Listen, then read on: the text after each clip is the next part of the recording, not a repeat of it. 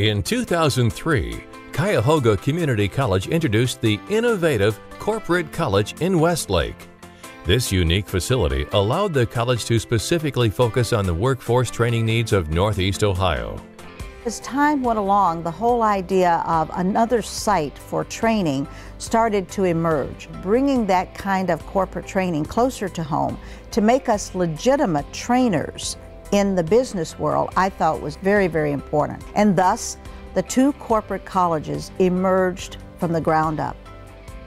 In 2005, Corporate College East opened in Warrensville Heights and provided a second location for professional training and development.